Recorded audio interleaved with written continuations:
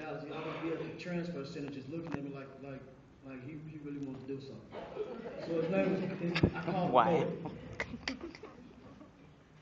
Switchblade in hand, it's cold outside, plus I'm scared. I've said my prayers this morning, so does that mean I'm doubting the Lord's protection? Am I capable of inflicting pain upon one of his creations? Stray dogs lurk in the shadows. They don't speak. They only glance in my direction until I'm lost from view. But the dog behind the fence speaks to me vigorously, taunting me evilly as if ready for me to draw down. I like the stray better. I call him Goldie. For Goldie's coat is matted but still a pretty bright yellow. His face cold but funny, and his eyes are deep. And like the fence dog, he stays alert and he speaks with his eyes, leaving me wondering and searching for an escape from his powerful glance. For Goldie knows the power of quietness, the power of meditation, the ability to survive.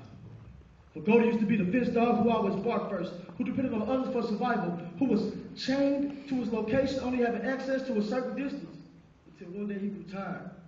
For he realized that the chains represented imprisonment, the barking represented ignorance and cowardice, and with that, the dog behind the fence was no more, and in front of my eyes stood Goldie free. I dropped my blade and realized the dog behind the fence was me. Mm-hmm.